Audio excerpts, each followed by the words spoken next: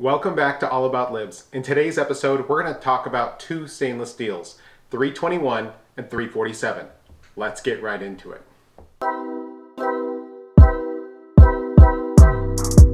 Okay, let's take a look at 321. Now, 321 is very similar to 304 stainless steel. The, the chrome and nickel contents are almost the same.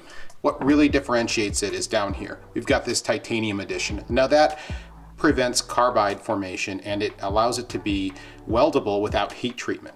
Now you see 321 used in aerospace components, uh, chemical processing, food processing, uh, things like that. However, if you're welding 321 with arc welding, sometimes 347 is used because it welds better. So let's, let's take a look at that one. Okay, so now let's take a look at 347 stainless steel. 347 is also very similar to 304 stainless steel. It is also stabilized against carbide formation, which allows it to be uh, welded without heat treatment. So the chrome and the nickel are very similar to a 304 188 and down here instead of titanium we have this niobium edition. Now you may not have heard of niobium, it used to be called columbium, still is in some circles.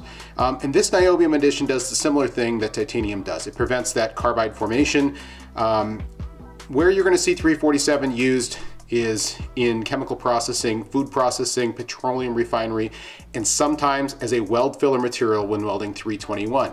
This niobium performs better than titanium for arc welding applications.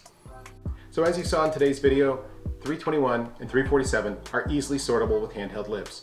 We were able to get a 100% match and see all the elements in them, including in 321, we saw a titanium edition, and in 347 we saw a niobium addition. Now both of those additions stabilize against carbide formation and that has to do with welding and not having to heat treat um, an area after a weld. Now the, the main differences here is if you have a product made of 321 and you are welding it with an arc welding um, process, you would typically use 347 filler material. The 321 material, the titanium edition, does not behave well for arc welding applications.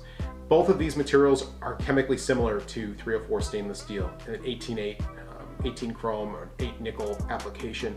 Um, and uh, their operating temperatures reflect that at up to 1500 degrees Fahrenheit for both of them, and that's 816 degrees Celsius. So thanks for tuning in this week. If you learned something today, like and subscribe this video, and uh, hope to see you next time.